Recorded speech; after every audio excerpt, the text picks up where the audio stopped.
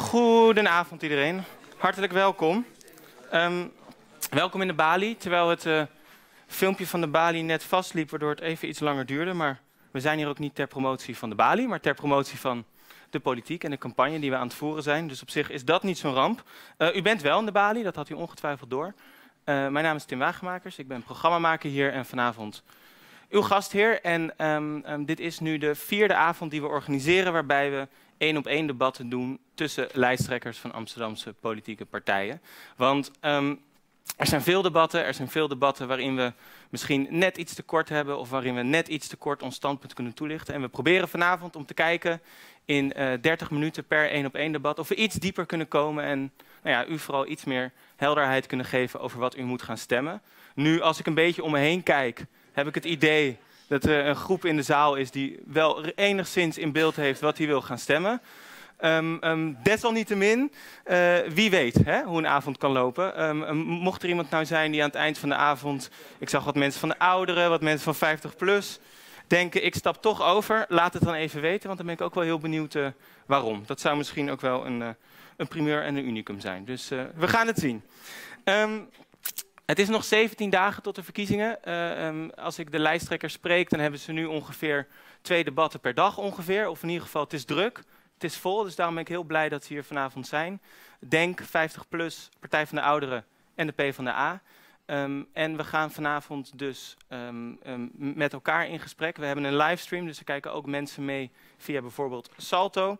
We beginnen zo met Partij van de Ouderen en 50 plus. Zij gaan dus 30 minuten met elkaar in gesprek onder leiding van mij. Ik zal wat vragen stellen. Um, het idee is dat wij aan de partij hebben gevraagd om zelf onderwerpen mee te nemen waarvan zij denken, daar moet het nou echt over gaan voor ons. En dat willen wij bespreken met onze debatpartner. Um, om ook een keer te kijken wat er dan uitkomt als je niet vooraf hè, een, een, een format opdrukt, maar gewoon de partijen vraagt wat zij interessant vinden om te bespreken. We beginnen dus met de Partij van de Ouderen en 50 plus. We hebben daarna Partij van de Arbeid en Denk. Um, elke keer 30 minuten. Tussendoor is er ruimte voor vragen vanuit het publiek. Daar heb ik steeds 10 minuten voor gereserveerd. Uh, het voordeel van een vraag is dat die meestal kort is en eindigt op een vraagteken. Dus ik zou u willen vragen om ook na te denken of u echt iets heeft waarvan u denkt, dit wil ik nou weten, hier wil ik verduidelijking op. Of dat kan een onderwerp zijn wat we al besproken hebben, of een nieuw onderwerp waarvan u denkt, ik kan echt niet slapen als ik dat niet weet vanavond. Um, en hoe scherper en duidelijker uw vraag is, hoe meer vragen we kunnen doen. En uh, nou, ik denk dat dat voor iedereen fijn is. Um, dat gebeurt dus twee keer en dan is het mijn taak om te zorgen dat u rond tien uur naar de bar kunt. En het is hier een goede traditie dat mensen nog even blijven hangen. Dus dan kunt u ongetwijfeld nog uh, met een lijsttrekker wellicht de laatste vragen stellen of nog een opmerking plaatsen. Um, maar laten we vooral snel beginnen um, met het eerste debat. Ze is de lijsttrekker van de Partij van de Ouderen. Ze zit op het moment in de gemeenteraad ook namens die partij. Ze heeft twintig jaar bestuurlijke ervaring in Stadsdeel Noord, waar zij actief was. Uh, en binnen de raad behartigt zij de belangen van de ouderen in de stad. Uh, ze maakt zich hard voor de age-friendly city. En ze hoopt dat nog vier jaar langer te doen als lid van de gemeenteraad. Dus geef er een warm applaus. Wil van Soest. Mag... Ja, dan hebben we uh, Ellen Schutte. Zij is lijsttrekker van 50PLUS. Nou, 50PLUS is natuurlijk landelijk al vertegenwoordigd, maar ze hopen nu ook in de lokale uh, gemeenteraad de strijd aan te gaan en uh, nou ja, hun ambities te verzegelen. Ik, ik, ik, ik, las dat u hoopt vier zetels, dus u, u, u gaat er... Oh, dat is dan de eerste vraag. ja, ja nou, dat, dat las ik. Nou, in ieder geval één, denk ik. geef er een warm applaus. Ellen Schutte. Ja, voordat we beginnen met de onderwerpen had ik eerst een paar dingen waarvan ik dacht, die moeten we eerst even bespreken om helder te krijgen hoe we hier staan. Mm -hmm. um, misschien mevrouw Schutte, we hebben hier al de Partij voor de Ouderen, de Partij ja. van de Ouderen. Die zit, die zit al een tijdje in de raad. Waarom dacht u het is toch nodig om nog campagne te voeren als er al een Partij van de Ouderen is? Het begon eigenlijk in Den Haag, omdat de uh, 50PLUS in Den Haag wilde graag de gemeente in. Mm -hmm. En uh, met twintig andere gemeentes. En toen hebben ze sollicitatierondes gedaan ja. onder de leden. Waaronder mevrouw van Soest ook gevraagd was, geloof ik. Maar goed, dan alsnog. Voordat we naar u gaan. Ja. Dan alsnog neem ik aan dat u heeft nagedacht voordat u lijsttrekker werd van, hè, kan ik hier iets toevoegen? Ik heb helemaal niet nagedacht, Oh. want ik kende mevrouw van Soest helemaal niet. Dat is het rare. Wij hebben elkaar pas één keer eerder ontmoet. En dat was bij een debat bij Salto. Mhm. En eh, het hele oude zeerverhaal, het verhaal van vroeger, wat er allemaal gebeurd is, ook met andere leden. Dat heb ik eigenlijk helemaal niet echt meegemaakt. Spijt me. En wat Ja. gaat u ehm, dan, dan ja, u, u- bent nu de lijsttrekker van 50 plus. Ja. Wat is dan het belangrijkste wat u denkt, hè, dat, dat horen we nog niet in de gemeenteraad, dat gaan wij toevoegen? Wat mevrouw van Soest eh, en haar partij heel erg hebben, is heel erg ook, eh, dat zie je ook in hun verkiezingsprogramma, hebben ze het heel erg over eh, de ouderen, de senioren, maar echt de ouderen. En wij proberen toch ook wel weer ja, de veertigers, de vijftigers te pakken. Want ik kom net uit de jonge partij van eh, de vijftigers De natuurlijk. jonge partij van de 50 ja, eigenlijk wel, mijn Ja. 51. Dus. Ja. En ik ga nu het Rijk de Wijze in. Ja. Ja, zoiets. De. Ja. Ja. Mevrouw van Soest, ehm, we hebben eigenlijk al meteen iets te pakken. Eh, eh, hè, er, er komt nog een partij misschien. Of in ieder geval, er is een partij die hoopt ook in de gemeenteraad te komen. Wat dacht u toen u dat hoorde? Nou, dat gaan ze nooit redden. Wij zijn een lokale partij. Ja, En eh, nog een landelijke partij erbij. Ik denk niet dat Amsterdam daarop zit te wachten. Toch is het zo. En, en, en we gaan straks uw, uw thema's in. Hè? Dus Ik ben vooral ook benieuwd wat u wil met de stad. Maar toch is het zo, volgens mij bent u lid van 50 plus, toch? Jazeker. En toch is het niet gelukt, ik stel het maar even als open vraag, om samen op te trekken. Ja, daar moet u voor bij de landelijke eh, eh, eh, Ja. besturen zijn. En die eh, gingen ook rollenbollend over straat. Dus eh, Ja. Dus ze, dachten, we behoorlijk wat zetten, ze ruzietjes dachten bij zichzelf, we zetten, daar. die, ze dachten bij zichzelf, we zetten de joker in in Amsterdam. Ja, Kijken of dat, dat gaat ja. lukken. Nou, dan wil ik nog één vraag aan beiden stellen en dan gaan we echt hè, naar richting uw plannen. En dat is eigenlijk een bent u niet bang vraag. Ik, ik, ja, ik weet niet of dat een type vraag is eigenlijk, maar ik ga hem toch stellen. Bent u niet bang dat nu er twee partijen zijn, dat u misschien allebei net naast de boot vindt? Nou, heeft u niet goed geluisterd naar mevrouw eh, Oh, Schutte? vertel. Want die zegt, die is voor de jongeren. Nou, Alhoewel voor het de een- jongeren, we pakken ook, we, we kijken, bekijken het wat breder. Het is niet alleen maar de senioren en de ouderen. Want Ja, maar de, de 50 jongeren van plus nu... staat bekend als een, eh, eh, eh, een seniorenpartij. Mhm. Daar is- het zijn ze ook. voor Daar opgericht. blijft Zijn ze voor opgericht. Ja. En het het is niks anders dan over de pensioenen, de pensioenen, de pensioenen. En maar de werkelijke problemen die zich voordoen hier in Amsterdam. Mhm. Met armoede, met wonen, met van alles en nog wat. Ja. Ja, daar hebben ze zich nog niet Maar in ik ga me niet inzetten voor de pensioenen hier hoor. Dat is een landelijk Hm. probleem. Dus wij gaan ook echt wel de gemeentelijke problemen Waar, aan. waar gaat u zich voor inzetten? Wij gaan ons met namelijk ook inzetten voor eh, wonen, voor jong en oud. Meer gemeenschappelijke woonvormen. Ook voor zorg, ook voor jong en oud. Dat het weer eh, terugkomt bij de zorgverlanger en niet alleen maar bij de zorgverlener. En we hebben ook eh, bijvoorbeeld, wat ik heel mooi vind, zijn, eh, dat is bijvoorbeeld het project Change wat er nu is. Dat Mhm. is een project eh, in de Posjes. Ja. Bij de Posje, op de Posjesweg, ken je dat? Nee, dat er wonen uitlegt. eh, jongen, jongeren, werken, eh, jongeren die net een baan hebben, die wonen daar. En die betalen rond de 500 euro voor 30 vierkante meter. En die werken. Dat zijn geen studenten. En ik wil de begane grond aan de senioren geven. Dus dat die ook op de begane grond gaan wonen. Ja, ja. Want dat, we gaan natuurlijk, meer dan de helft wordt ja, 50 plus. En dat is over twee jaar al definitief. En dat gaat ook in Amsterdam gebeuren. Mevrouw van Soest, als u het hoort dat eh, hè, de, de verbinding tussen jong en oud, u zegt het is toch belangrijk dat er een partij is die specifiek voor de ouderen opkomt. Waarom is dat volgens u zo belangrijk? Wat ziet u in de stad waarvan u zegt we hebben het nodig dat we de eh, senioren, eh, ouderen extra aandacht geven of dat we daar een, een uitzondering op maken in ons beleid? Nou, als je ziet hoeveel mensen er dementie, dementie hebben in Amsterdam, Mhm. dan schrik je echt helemaal eh, een hoedje. Eh, en dan heb je dus ook nog dat die mensen thuis moeten blijven wonen. Er wordt niet meer gevraagd, wil je thuis blijven wonen? Nee, je moet thuis blijven wonen. Met alle gevolgen van dien. En als wij dus op een gegeven moment als Partij van de Ouderen daar niet voor opkomen, voor de zwakkeren, Mhm. Eh, dan, eh, ja, waar moet het, kijk, En wat kan de gemeente daar, of wat moet de gemeente daarin doen nou, volgens ik, u? laat ik zo zeggen, wij hebben eh, een motie ingediend voor Mhm. een eh, dementievriendelijke stad. Ja, dat is ook uw Daar- onderwerp meteen. dus- Daaruit Is dat is, niet de eh, age-friendly city? Zeker, wat ze ja. heeft? daaruit is eh Aid Friendly City naar voren gekomen. En dat behelst dus alles op het vlak van eh, eh, wat voor ouderen hinderlijk zou kunnen zijn. En dat is dus het opheffen van de eh, tramhaltes. Het wonen, de toegankelijkheid Ja. in, de, in de openbare ruimte. Over eh, de zorg, over alles. Je kan niet zo bedenken, maar het, eh het Maar spreidt u zich noemt over het het, hele age-friendly. beleid Dan hebt u het alleen over de ouderen. Ik bedoel, dan, we moeten het dan ook hebben over de mensen die een handicap hebben, minder Die zitten invalide. daarbij.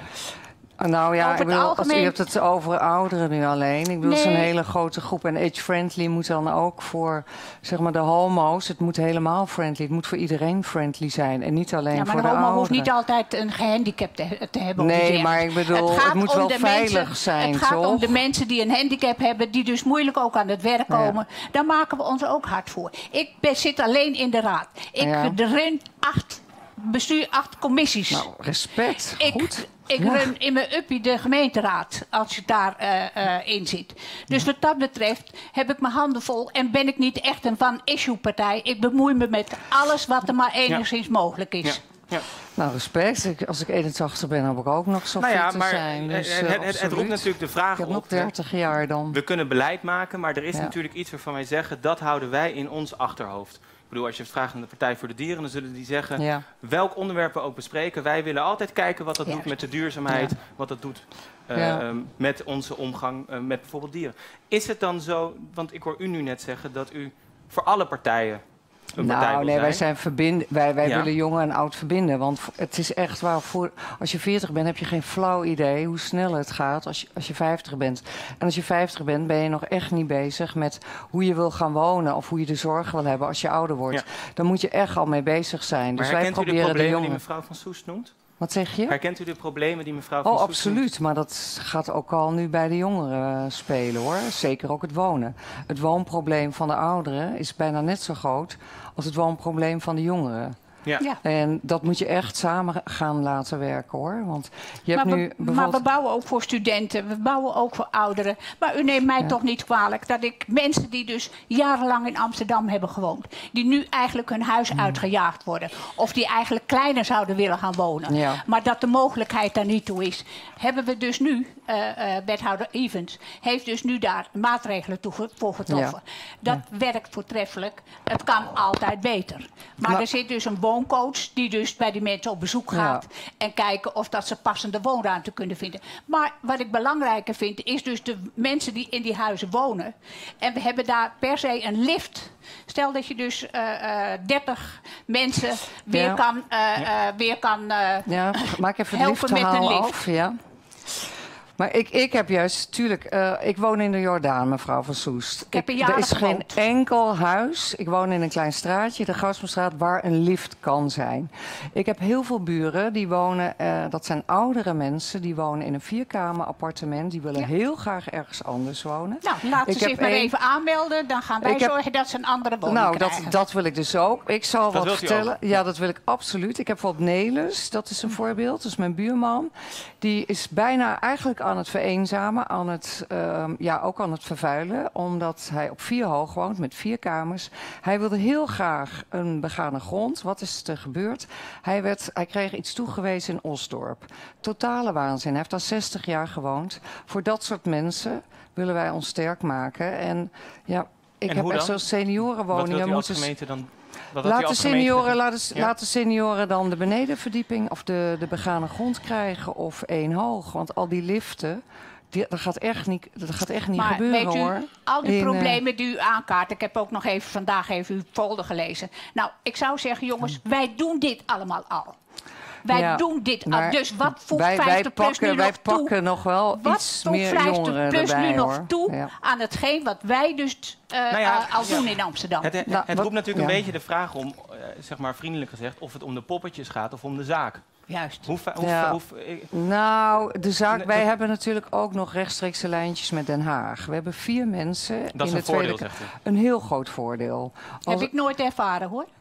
Nou, als u dat afmaakt, Ja. moet u daarop reageren. Ondanks mijn 50 Nou, plus u- niet. Ja? jullie hebben een beetje oud zeer, jullie hebben ruzie gehad. Dus dat, dat probleem ken ik Laten we dan het niet. oude maar- zeer een beetje Ja. eh, Ja. rusten en vooruitkijken Ja. naar de stad. Ja.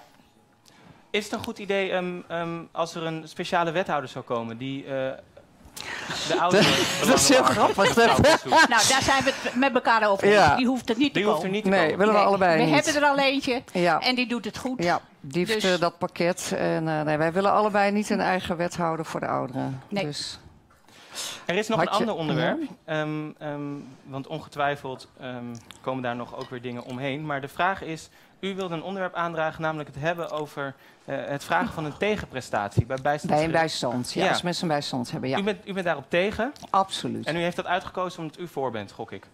Ja, ik had bij AD.nl bij de kieswijze gezien dat de partij eh, van de ouderen, dat moet ik wel goed zeggen. Nou ja, zo heet ze ook echt. Ja, maar ja, moet je wel heel Ja. veel zeggen voor. Heel, heel veel zeggen voor de ouderen. Ja, dat is echt waar. Ja. Dat is echt waar. Mensen- maar goed. Ja, dus eh, ehm, dat, zij willen dus mensen een bijstandsuitkering hebben, dat ze een tegenprestatie moeten leveren. En u En vindt dat- dat geen goed idee Nee, om dat? dat werkt absoluut niet. Ehm, het probleem is, eh, verplicht vrijwillig werkt voor, dat werkt gewoon niet. Als jij, je hebt natuurlijk een hele grote groep die eh, al heel lang bijstand trekt. Mhm. dat, dat blijft, er blijven altijd mensen daar natuurlijk. eh, ja, je hebt zo'n visieuze cirkel met families die daarin blijven. Maar je hebt een hele grote groep, boven de 50, die niet vrijwillig in de bijstand is gekomen. Er zijn meer dan, vijf, meer dan eh, van de 55-plussers die eh, in de bijstand zitten, zitten er al meer dan vijf jaar in de bijstand. Dat zijn mensen die willen heel graag werken. Die moeten dan de vernedering aan om eh, ook nog vrijwilligerswerk te doen, terwijl ze ook nog Ja. verplicht moeten solliciteren. En ehm, er is een onderzoek geweest in Scandinavië. Dat heb ik helemaal uitgezocht. Er waren twee groepen die, eh, van 50-plussers. Die, eh, de een ging eh, een jaar lang vrijwilligerswerk doen, verplicht. Ook al kan je niet iemand vrijwillig iets verplichten. En de andere groep die mocht het zelf doen. Die kwamen allebei op hetzelfde uit. Ze waren allebei evenveel Dus u actie- zegt het werkt niet. Het werkt Dan heeft u totaal de en het is heel denigrerend en vernederend. Dus toevallig Nou, in de krant ja. van de week, eh, van de week dat, ja? eh, dat wij in Amsterdam eh 37.000 eh, eh, mensen aan het werk hebben gekregen zonder dwang. Maar goed, maar Ja. u, u, u, u- Ja, maar u dat bent zijn mensen- die, Kijk, als je die, het die ze- tegenprestatie. als je het graag wil. U, u bent voor die tegenprestatie? Nee, wij zijn niet voor de tegenprestatie. Oké. Wij willen geen dwang. Wij willen geen Want dat stond inderdaad Oh, wel maar in dat is wel Ja. in de kieswijze. Dat is die denk ik fout ingevuld. Nou, of dat zo. is dan verkeerd ingevuld, Nou, maar dan- niet dan- door Dan mij. kunnen we het nu Oh. rechtzetten. U Maar kijk even, kijk, even in mijn, kijk even in mijn... eh, Kijk even in de kieswijze in van het verkiezingsprogramma AD.nl. staat heel wat anders. Ik wil, ik wil uw visie hierop horen. U zegt ook, dwang dat is geen goed middel Nee. om mensen... Oh, dan zitten we eigenlijk weer op één lijn. Ja, ja, dat Ja. kan ik, ja. Ja. Wij hebben, eh, eh, wij hebben dus eh, altijd eh, eh, de wethouder ge- gesteund in zijn eh, eh, doen. En ik vind, laten we er echte banen van maken. Mensen die Ja. nu 55 jaar zijn en die zitten onderhand in de armoede. Het is een Ja, schande. daar heb ik het ook Dus over. wat dat Zeker die betreft- mensen in de Wat bijstand. dat betreft ik ben ik het een om voorstander om ze zoveel mogelijk te helpen eh, aan een baan. Maar vrijwilligerswerk, dat doe je uit, omdat je het graag En, doet. en hoe Ja. kan de gemeente die mensen helpen aan een baan? Eh, wethouder eh Vliegend Hart is daar heel erg hard mee bezig. En die haalt De werkcentrale bijvoorbeeld? Wat zegt u? Er is, er is een werkcentrale opgericht. Ja, Dat, zou, dat vindt u een goede, ja goede ik vind een ontwikkeling? heel goed idee. Oké. En die mensen krijgen ook netjes betaald. Vindt u eigenlijk dat het huidige college het eigenlijk hartstikke goed heeft gedaan? Want ik heb u nu eh, drie complimenten Nou, horen maken. Nou, Waar hebben ze volgens u de belangrijkste steek laten vallen? de belangrijke steken die zijn, blijven, die zijn gevallen is door D66. Zij hebben dus eh, eh, niet voor de woonnota gestemd van 40, 40, eh Maar die is toch 20. doorgegaan? Ja, omdat we meerderheid hadden. Mhm. Dus toen dachten ze, nou dan hoeven wij niet voor te stemmen. Dan weet mijn achterban dat wij niet Mhm. voorgestemd hebben. Maar ze profiteren er wel van mee. En dat vind ik niet, niet eerlijk, terwijl ze in het college zaten. Ja, maar goed. dus maar ja, ja. kijk, ik ik begrijp wel dat ik voor de SP-wethouders een warm hart heb. Ja, helder. Als u nou, u, u woont in Amsterdam, als u de afgelopen vier jaar de politiek gevolgd heeft, waar, waar zegt u dan van, nou, op het gebied van wat wij nu willen met 50 plus, hebben ze daar Ja. echt de belangrijkste steek laten vallen? Wat ik heel belangrijk vind is, dat is, daar heb ik het weer over jong en oud verbinden. Je hebt eh woonproject, ge- bijvoorbeeld ga naar Deventer, daar heb je Humanitas, daar wonen studenten, wonen beide ouderen in het verzorgingstehuis. En dan denk je, oh die moeten corvée doen, dat is helemaal niet waar. Ik heb die studenten gesproken en die zeggen, die ouderen vinden het zo leuk, dat heeft Amsterdam dus nog niet. Want ze wonen echt- Amsterdam heeft het ook al. Nee, maar niet gratis met studenten. Ze hebben het met heel veel vluchtelingen, maar niet in een. Ze wonen niet met de ouderen gratis in één pand. Jazeker. Nee, niet gratis. Ik weet het echt. Geef mij, geef Nou mij het bewijs. Het is Misschien echt. kan Marjolein ons Ja, helpen. ja. Het is echt niet gratis. Het is niet gratis. we gaan dit opzoeken. Ja, ga het opzoeken. Alsjeblieft, Oh, vertel ik- me. ja, ja. Ik heb het Ja. gezocht. In Deventer wonen ze gratis. En dan mogen ze ook gewoon af en toe een vriendje of vriendinnetje meenemen. Mhm. Je hebt geen verplichte corvée. Ze doen Mhm. het vanzelfsprekend. Het is wederom dat bij elkaar wonen, dat dat prima gaat. Want In studenten... Amsterdam hebben ze wel een verplichting. Dat ze dus af en toe met de ouderen boodschappen Ja, moeten gaan luister, doen. dat en eens gaat als je, dat is weer wat maken. verplicht vrijwillig. Als jij gratis woont je, Verplicht. Als zij eh, goedkoop aan huur kunnen komen. Op het is gratis kunnen- zelfs. Zij doen dat zelf. Er is een commissie ja. onder die studenten. Die hebben echt wel de Ja. verantwoordelijkheid Nou ja. om die mensen te helpen. Maar En, dat is dus een goed idee en dat zou Ja. in Amsterdam veel meer moeten Heel gebeuren. graag. Ja. ja. Ja. En het bestaat echt niet, mevrouw van Soesten. Wat zeg je? Het bestaat echt niet. Wij doen al lang Ja. eh, studenten met, eh, bij ouderen wonen. En eh, dat is al Ja, maar niet in een, in een zorginstelling. Dat ja, wel in een wooncorporaties zorg. Ik zal, je meenemen, ik zal je meenemen naar Amsterdam-Noord. waar ik wil, wel ik wil graag dat keer met me u een dag goed. op Ja, wij gaan pad. samen We gaan samen dat, op dat pad. lijkt me een heel... Dan neem ik u mee in de Jordaan. Dat lijkt me een heel goed rondje idee. Dat lijkt me een heel goed ja, idee. Ja. ehm, Rondje Ik heb Noord. 20 jaar in de Jordaan gewoond, dus ik ken hem wel mijn Nou, het is nu wel iets anders hoor. Het is anders. Het is veranderd, ja. als u nou... Ik bedoel, u, u noemde net een, voorbeeld van D66, een vrij Ja. symbolisch voorbeeld. Maar voor Amsterdammers die in de stad leven, is dat natuurlijk niet iets wat nou uitmaakt. Ik bedoel, in zekere zin is het er doorheen gekomen. Ook zonder D66. Is er iets waarvan u zegt, dit is juist echt... Ze hebben de, Weg. mond vol, ze hebben de mond vol over eh, vrije sectorwoningen. Mhm. Dat er zoveel mogelijk eh, woningen gebouwd moeten worden voor de eh, eh, experts. Mhm. En Nou, laat die lekker naar buitenvelden gaan. Ja? Ja, ik zeg, laat die lekker naar buitenvelden Ja? gaan. Daar wonen ze al. Ja. Mag ik iets anders voorleggen? U, u, u- ik, ik ben eh, eh, eh, niet de, de natuurlijke...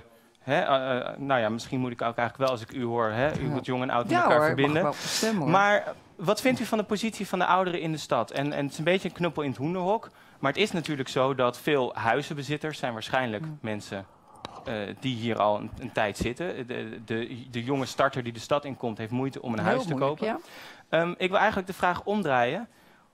Vindt u ook dat u moet opkomen voor de belangen van jongeren in de stad? Of zegt u, daar hebben we al genoeg partijen voor?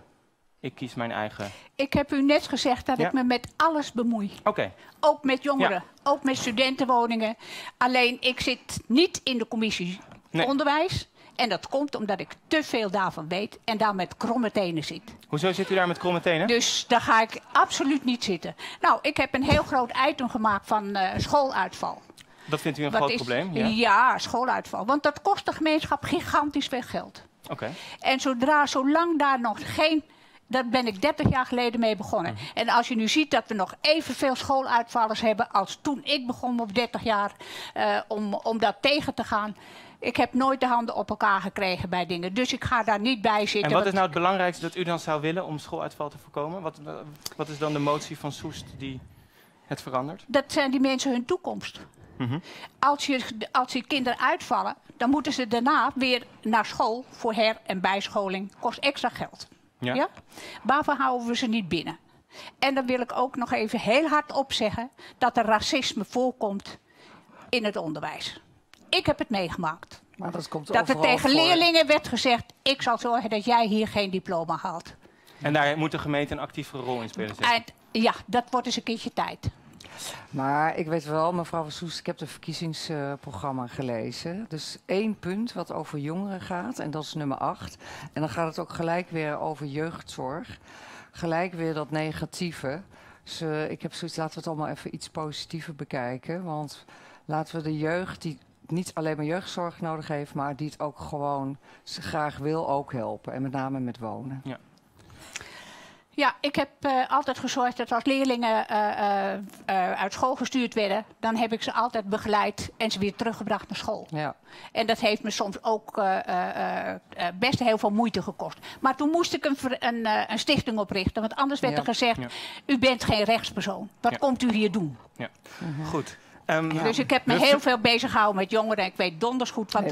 En ik kinderen. heb vijf kinderen. Ja. En ik heb En twaalf kleinkinderen. kleinkinderen. Dus Ja. wat dat betreft zit ik er heel- nog steeds helemaal in. En heel, en heel Noord zit vol met kinderen, ja. Ja. We vliegen er doorheen. Ja, Ehm, ja. Misschien is het goed dat u gaat nadenken over uw vraag, want daar komen we aan Ja. toe. Ik wil van u dan nog allebei, want het is mij in alle eerlijkheid, en ik, ik, ik, ik, me- ik meen dat echt zo neutraal mogelijk, nog steeds niet helemaal helder wat nou het onderscheid is tussen 50PLUS en de Partij van de Ouderen. Ik, ik, ik begrijp het in de zin wat u zegt, we willen jong en oud verbinden. En u zegt, nou, ik, Dat doen we al. ja. Ehm, maar ik wil nu? eigenlijk aan u allebei Ja. vragen één inhoudelijk punt waarvan u zegt, nou, als, als, als wij nou die zetel krijgen, dan is dit waar wij ons echt hard voor gaan maken. Eh, ehm, wilt u beginnen? Dan kunt u hem afsluiten. Nee, is goed. Laat, eh, Waar wij heel erg voor strijden is eh, met name de zorg ook. Dat die eh, weer met name ook dat je niet eh, alleen maar de ouderen eh, in de gaten houdt met de zorg, maar ook de jongeren. Daarnaast het wonen. Dat- jeugdzorg dus. jeugd, nou ja, god, dat is echt de ellende. dus. ellende. Nee, Ja. dat is gewone zorg, wat we allemaal. En dan hebben we natuurlijk het wonen. Laat gewoon de seniorenwoningen blijven de seniorenwoningen. En zorg ook dat de jongeren goed wonen. Ja. En goedkoop. En dat kan Dat- samen gaan. Dat kan absoluut. Pro- project Change. Ja, mag ik even wat weg, vragen? Ze kan. zegt nou het, eh, Ja. en goedkoop. Maar hoe wilt u dat realiseren? Zoals, je hebt eh, project Change. Dat zijn studiootjes van 30 vierkante meter.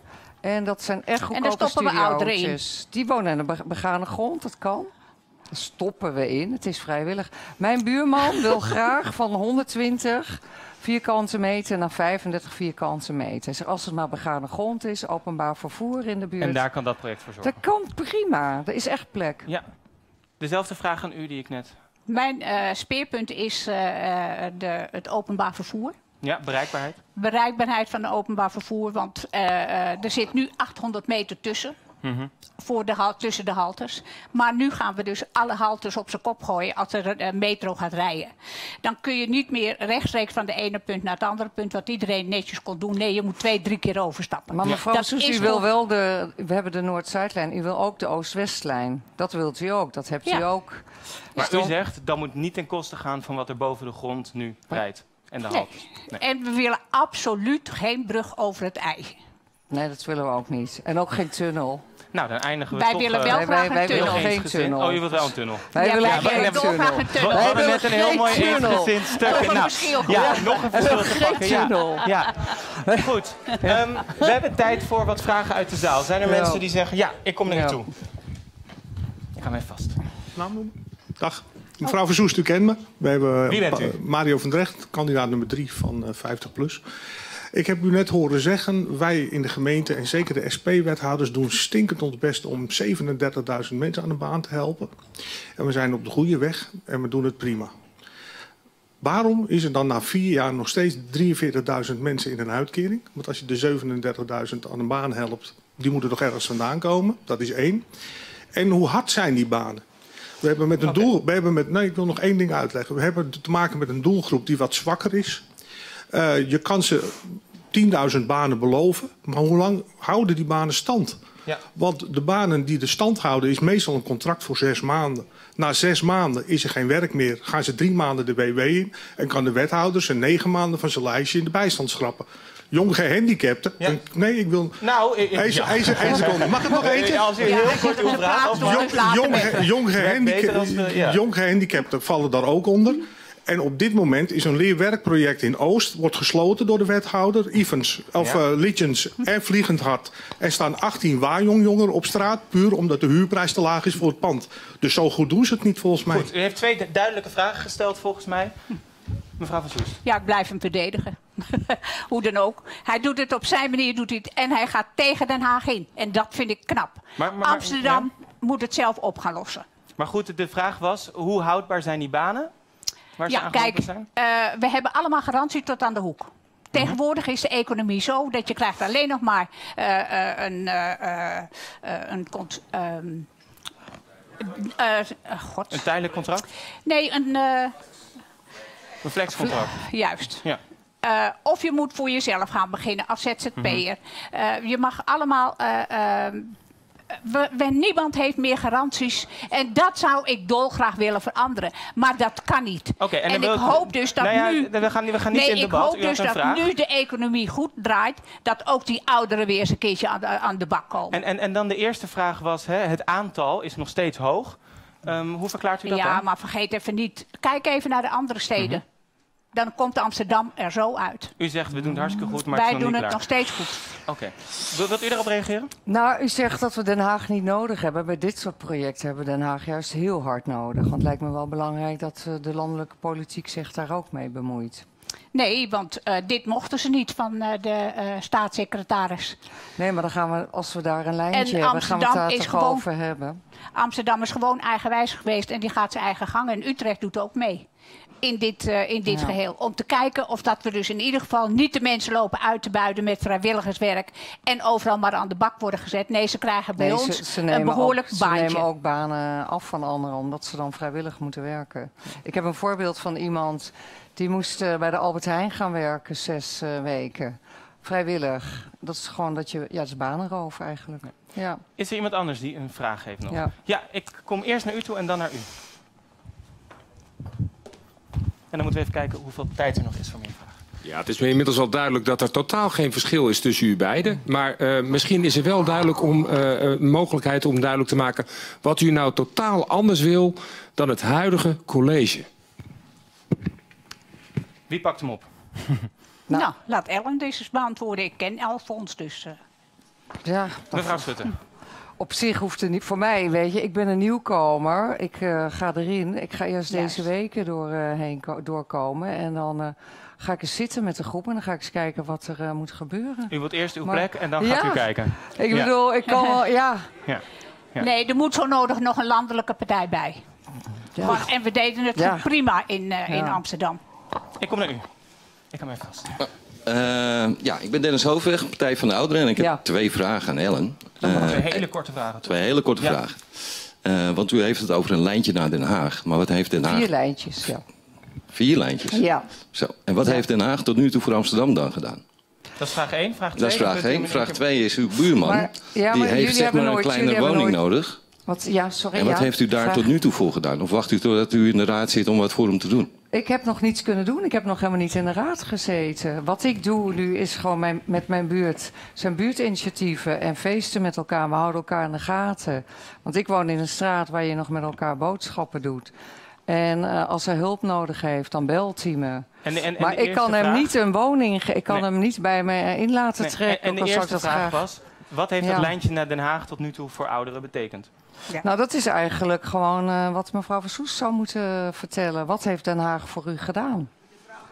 Volgens mij, ja, nee, volgens mij weinig. Volgens mij heeft de 50 plus nou, ik kan nooit- je wel even helpen. Ik heb Volgens regelmatig Henk Krol, Henk Krol op eh, eh, eh, landelijke eh, eh, eh, Mhm. problemen gesteld. En ik heb nooit of nooit of te nimmer antwoord gekregen. Dus ik hoop dat het met eh, Nou, ik, mevrouw Schutte beter gaat. En dat het lijntje beter is. Maar ja, ze is chauffeur geweest bij hem, dus... Ja. ik heb Kijk, één dag ik heb eh, niet rondgereden in heb een niet- busje, omdat ik, Ik de heb niet bij hem op de schoot gezeten. Nee. Ik hoop zo dat u beiden bij nog mij een op dag met schoot elkaar op stap gezeten. gaat. Ehm, is er nog één Oh. iemand die zegt, ik heb nog een allerlaatste vraag? En dan gaan we door. Ja, Dankjewel. 1 op de acht Amsterdammers is ernstig eenzaam en veel van hen Ja. zijn ouderen. Ik ben Ja. benieuwd welk plan deze dames hebben om daar wat aan te doen. Ja, Goeie vraag. absoluut. mevrouw Ja. van Soest, Ja. als u begint. Nou, we hebben, eh, eh, toevallig heeft de 50 eh, eh, Partij van de Arbeid eh 1 miljoen euro vrijgekregen bij eh, eh, Erik van der Buurt. Oh, Maarten zit ernaast, sorry. en, eh, eh, dus die heeft eh, dat eh, fantastisch gedaan. Wij hebben dat in ieder geval gesteund. Ten alle tijden.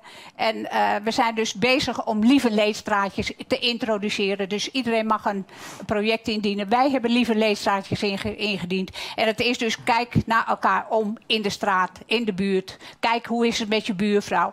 Ehm, ehm, Maar dat is eh, toch hetzelfde als buurtinitiatieven, wat wij ook eh, Ja, dat als zou best stimuleren. kunnen. Buurtinitiatieven, daar gaat het om. En buurthuizen open houden en straatfeesten geven. Want, Ja. het- ja. Ja. Ik, ik wil nog één laatste vraag stellen. Als u nou allebei in de raad komt, wat ik u van harte gun, Ja. ehm, ehm, bent u dan eh, Gaat u dan op 22 maart meteen een kop koffie drinken om met elkaar te praten wat u voor de avond... Dat waren we van plan, ja. Ja, Dat, dat is het doen plan. we. Nou, dat Je dan moet de kijk, je moet niet tegen elkaar zijn, maar je moet de krachten bundelen. Ja, en we gaan Dat is met altijd mijn hamers op streven elkaar geweest. slaan, Nee, zoals nee, de nee, dat- karikatuur, de cartoon zei. Dus, Oh, dat was de eh, karikatuur. in Er de was een eh, cartoon eh, dat we met hamers op elkaar sloegen. Nou, maar volgens dat, mij hebben we het heel... Ja, maar dat doe ik echt. Ik heb al twee jaar geen hamer in mijn hand gehad, dus nee, doe ik echt niet. Volgens mij hebben we het heel beschaafd gehouden. En ik wil u beiden, mevrouw Van Soest, mevrouw Schutte, hartelijk danken. Geef ze een warm applaus. Dankjewel. Dankjewel. Dankjewel. Top. Goed. Dan gaan we door met het tweede debat. Ehm, tussen de Partij van de Arbeid en eh, Denk. Ehm, ik had daar een hele mooie... Ik moet even het goede blaadje pakken. Even kijken, waar waren we nou? Oh ja, hier waren we. Ja, want anders dan introduceer ik Marjolein Moorman niet goed. En dat zou zonde zijn. Ehm, ze is lijsttrekker voor de Partij van de Arbeid. Ze is al sinds 2010 raadslid, sinds 2014 fractievoorzitter. Ze, was, eh, ja, ze geeft leiding aan de tienkoppige PvdA-fractie. En ze zat ja, voor het PvdA vrij uniek in de oppositie van het gemeentebestuur. En wil daar vast weer verandering in brengen. Eh, geef haar een warm applaus. Marjolein Moorman.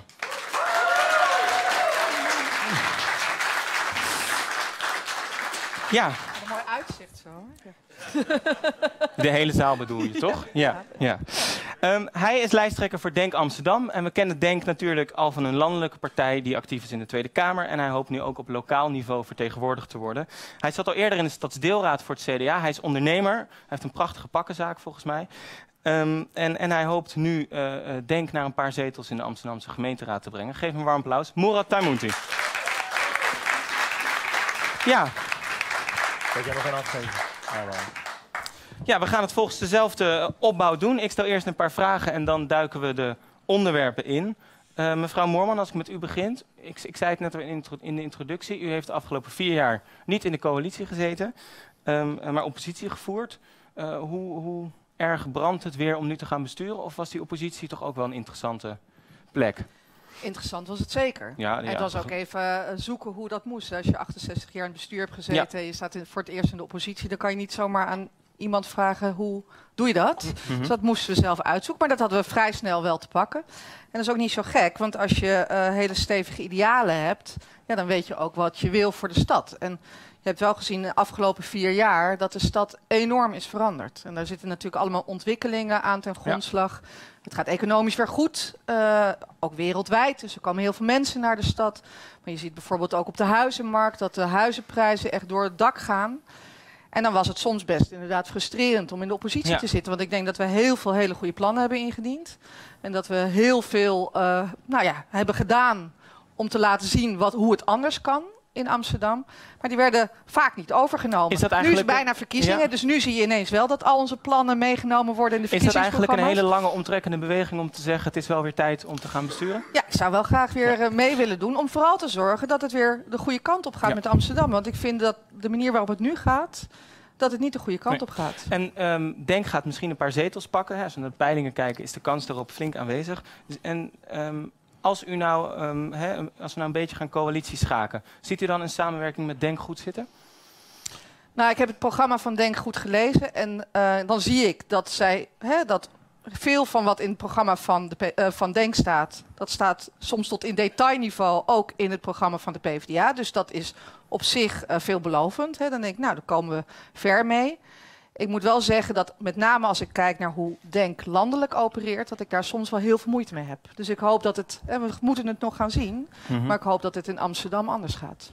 Oké, daar, daar komen we misschien nog wel op. Ja. Ehm, meneer Temunti, ehm, u doet het goed in de peilingen. Hè, en er is een versnipperd politiek landschap. Dus misschien dat die, die, die zetels die u gaat halen wel nou ja, een, een coalitie aan de meerderheid kunnen helpen. Hoopt u dan de eerste wethouder inclusiviteit te worden, zoals ik in uw programma las? Ik weet niet of ik de, de, de wethouder zelf moet zijn. Ik denk dat je dat, dat, eh, daar goed moet onderzoeken inderdaad wie, wie daar echt de goede competenties voor heeft om dat goed te kunnen doen. Maar ik ben wel een voorstander dat daar echt wel een wethouder voor zou moeten komen. Als je het hebt over diversiteit van de stad. Hebben we ook al. Hè? Nee, maar in de zin van dat het echt inderdaad, als je het hebt over inclusiviteit, dat er inderdaad wat beter beleid op moet komen. En dat je dat specifiek niet alleen maar bij één totaalpakket van één wethouder, maar dat je daar echt een specifieke Ja. taak moet maken. Als we kijken naar de gemeente Amsterdam, de, de ge- algehele top is volledig wit. Totaal geen diversiteit.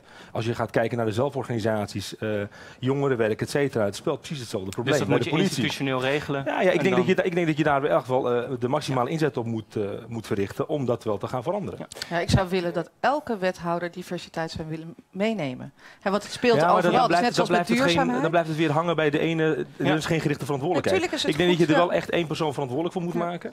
Waardoor je inderdaad ook aan het einde van de vier Waardoor jaar je kan zeggen... kan heb je het inderdaad eh, goed Ja. geregeld of heb je het niet goed geregeld? Ik vind het wel een kentaak voor alle wethouders om in, dat, Exact. in hun mindset mee te nemen. Ja. Maar er moet wel één iemand verantwoordelijk zijn. Dan aan u eigenlijk dezelfde vraag, maar omgekeerd. Hè? Ehm, landelijk is Denk voortgekomen uit onvrede over de PvdA.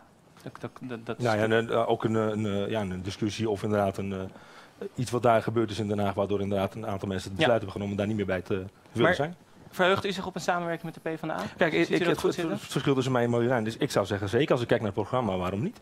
Ja. Gewoon heel makkelijk. Eh, Je moet gewoon de mensen de waarheid vertellen. Wij willen graag samenwerken met linkse partijen die progressief denken. Dus inderdaad, mijn antwoord is veel korter dan die van Marjolein. Gewoon ja. Dan is mijn laatste vraag voordat we naar de onderwerpen gaan. De vraag is natuurlijk een beetje nou, bij elke partij, maar bij u, eh, ik las bijvoorbeeld een artikel in De Groene dat u enorm populair in Nieuw-West bent. Maar als ik nou aan u de vraag stel, wie vertegenwoordigt u dan als Denk? Nou, ik hoop dat, dat ik kan antwoorden dat ik iedereen vertegenwoordig. Allereerst wilde ik, ik wilde eigenlijk mijn betoog beginnen door enorm respect uit te spreken voor Wil. Ik, ik, ik, ik sta me te verbazen inderdaad met welke bevlogenheid en passie u eh, nog steeds op die leeftijd inderdaad hier het verhaal vertelt. Ik denk dat menig eh, eh, politicus daar een voorbeeld aan kan nemen. Dus dat, dat wil ik eerst even gezegd hebben. Genoteerd. Wel eens nou, niet, niet in alles, hè, moet je Oké, nadoen. ja, ja, ja. Ik geef je een compliment in je... Oké, oké. Het staat genoteerd. Berlusconi, oké. Ja. Ja. Ehm, eh, terug naar... de- naar De, de vraag was wie vertegenwoordigt u? Nou ja, ik, denk, ik probeer iedereen te Ja? vertegenwoordigen. eh, maar ik zeg wel dat ik, eh, ehm, dat ik wij merken, dat is ook de reden waarom we ontstaan zijn, dat er afgelopen 15 jaar tot 20 jaar gewoon een groep inderdaad vergeten is. Of inderdaad de zwaarste klap heeft opgevangen. En ik denk dat we daar extra aandacht voor moeten En hebben. wie is Dus die groep? Nou ja, als je het hebt over minderheden, mensen met een biculturele achtergrond, die hebben in het land toch, ja, die hebben het zwaar te verduren gehad. Als je het hebt over, over moslims bijvoorbeeld, de afgelopen 10, 15 jaar, die hebben het enorm te verduren gehad. Ja. Eh, eh, dus ik denk dat we daar echt wel extra ons best voor moeten doen. Ja. Als u dat hoort, ehm, dat zijn de groepen die het het lastigst hebben gehad, die de klappen hebben gehad, zegt u zelfs. Wat denkt u dan? Herkent Ik- u dat? Nou, ik denk inderdaad dat er zeker wat aan de hand is als je het bijvoorbeeld hebt over moslimdiscriminatie, maar ook als je het gewoon over achterstanden hebt. Ja. Je ziet bijvoorbeeld bij eh, ouderen met een migratieachtergrond dat nog steeds twee derde van de ouderen onder de armoedegrens leeft. Bij jongeren, een nieuwe generatie, zie je dat ook nog. Nog steeds een derde. Hè. Dus er is zeker nog heel veel aan de hand en er moet dus nog heel erg veel aan gebeuren. Dat ben ik met je eens. Ja. Ehm, waar ik wel, en dat hè, ook respect voor de dames net, eh, overigens veel dingen gehoord waarvan ik denk, nou, eh, fijn dat we dat inderdaad de afgelopen periode goed hebben opgepakt. Maar ook wel wat dingen waarvan ik dacht dat hadden we nog best wel ook, hè, had ik wel van u geho- gehoopt te horen. Maar goed, een Ook- zilveren voorraad voor woningen. Ook eh, genoteerd, bijvoor- maar goed. maar wat, wat ik wel wat moeilijk vind, en dat zie ik bij de oudere partijen, ook een beetje bij Denk, is toch wel het toenemende identiteitspolitiek. En ik denk dat we daar niet verder mee komen. Ik denk dat we er niet verder mee komen als we het alleen maar gaan hebben over identiteit. Maar wat bedoelt u daarmee? Kunt u dat Ja, dus dat, we steeds maken? groepen gaan aanwijzen. Terwijl ik echt denk dat we een politiek, en dat is ook een verantwoordelijkheid van het stadsbestuur, dat je het voor iedereen doet. Je bent uiteindelijk volksvertegenwoordiger voor iedereen. En als we het steeds over identiteit gaan hebben, dan zie je ook dat groepen steeds verder tegenover elkaar komen te Ja. staan. Terwijl ik juist denk dat we het over mentaliteit moeten hebben. Ja. Dus een Amsterdamse mentaliteit waarbij iedereen er juist bij Ja. hoort. En als we steeds meer gaan groepen aanwijzen, dan zie je juist dat we eigenlijk steeds meer polariseren. En dat vond ik soms wel heel erg Ja. lastig Ja. in het huidige Nee, politieke ik vind Als u er op reageert, Ja, gaan we gaan naar het zeker op onderwerp. Ja. reageren. Meneer Temoeti. Ik, ik, vind, ik, vind het, ik vind het heel bijzonder dat, dat de Partij van de Arbeid dat zegt inderdaad. Want als ik ga kijken, we mogen niet over identiteitspolitiek eh, bedrijven. Als het afgelopen 15 jaar gaat over negativiteit, hebben we het wel op die manier gedaan. Dan hebben we het wel over Marokkaanse jeugd gehad. Dan hebben we het wel over Turkse jeugd gehad. Dan hebben we het wel over Surinaamse jeugd gehad. Op het moment dat we het over positieve dingen willen hebben, dat we zeggen we willen mensen helpen, we willen verbeteren, dan mag ik het niet doen. Dan mag ik niet zeggen Marokkanen zijn achtergesteld. Maar negatief doen we het al jaren. Ja, ik vind het heel erg krom. Ik denk dat je het beide moet doen. We weten gewoon dat Marokkanen vier keer zo werkloos zijn. Marokkaanse jeugd, zelfs met een diploma. En dan is het niet raar dat ik zeg in Amsterdam, ik kom voor alle jongeren op, maar de groep die het moeilijkste heeft, daar ga ik een extra stapje voor zetten. Oké, maar, maar om dan meteen even eh, het, het punt af te maken. Ehm, u zei net dat u soms moeite heeft met de landelijke lijn van Denk. Ehm, laten we het vooral bij lokale politiek houden, maar ik wil je dan één keer de vraag voorleggen. Er was vorige week veel eh, eh, woede onder partijen, omdat eh, Mhm. rondom de kwestie van de Armeense genocide Kamerleden iets hadden gestemd waarvan Kuzu, vervolgens, waarvan meneer Kuzu vervolgens die naam heeft genoemd en gezegd zij moeten goed nadenken over waar zij staan. Is, i- i- is, is dat een manier van eh, identiteitspolitiek of iemand aanspreken die u mee wilt nemen naar Amsterdam? Dit is, dit is het mooie voorbeeld wat u noemt. Ehm, ik heb tig debatten in de Tweede Kamer Mhm. waar Kuzu, toen aan Kuzu, continu op zijn Turkse afkomst, afkomst wordt aangesproken. Ook door de Partij van de Arbeid. Ook door D66, Mhm. onlangs in de Bali. Op het moment dat dat gebeurt, dan praat niemand erover. Maar als het andersom gebeurt, dan is het opeens inderdaad nemen en shamen en framen. Ik snap dat het heel lastig is. Maar op het moment dat je in de moskee het ene verhaal vertelt... en je gaat de Kamer in en je stemt anders... dan wil ik daar uitleg over hebben. En dat geldt voor mij ook als ik straks in de gemeenteraad ben. Ik sta hier nu hier. Als u mij straks iets hoort zeggen... buiten, op de beide bar...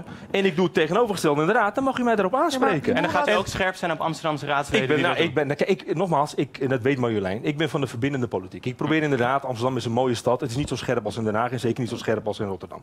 Wij hebben dat hier niet. We zijn een mooie progressieve stad. Mhm. Eh, de verschillen tussen de partijen zijn hier zijn niet zo groot. We hebben zelfs een linkse VVD, een, eh, een iets rechtse D66. Eh, maar Ja. dat is wel het mooie van Amsterdam. Dus ik ben wel van mening, ehm, je moet inderdaad elkaar aanspreken op verantwoordelijkheid op dingen die we zeggen. Maar je moet elkaar niet inderdaad eh, Oké. eh, een schop geven en inderdaad continu met gestrekt been erin gaan. Ik, ben, ik denk dat je daar niet verder komt. Vandaar dat Maar mijn wat betoog is. Ja. eh, probeer in plaats van, want natuurlijk is het nu verkiezingstijd en we willen allemaal laten zien op wie mensen moeten gaan stemmen. We U willen wilt het verschil laten zien. Maar ik wil juist Ja. laten zien dat er heel veel mooie dingen en raakvlakken zijn. Waardoor we eigenlijk naar de mensen die nu kijken denken: hé, hey, als Ja. die partijen straks daarin komen, dan kan ik inderdaad iets Ja. moois verwachten. Ja, maar ik.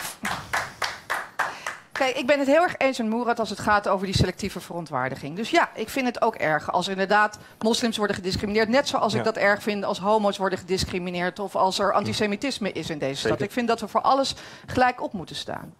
Maar als jij zegt van ja, maar hij wordt zelf, dan hebben we het over Kuzu, op zijn Turkse achtergrond aangesproken. Komt ik zie, nou, dat is juist niet zo. Hè, er was een. Nee, nou, er- nou, ik kan u, vo- ik kan u zal u laten zien, mevrouw Marjolein Moorman. Oké, mevrouw Moorman, even nog werd er gezegd, wat vindt u wat er in Ja. Turkije gebeurt? En ik denk, waarom, waarom Ja. vraagt u dat? Ik ga Zelfs hier- ik krijg, Ma- Marjolein, Nee. ik krijg die vraag wat ik van Turkije vind. En ik kom niet eens uit Oké, Turkije. oké. mevrouw Moorman, maak uw punt Ja. af.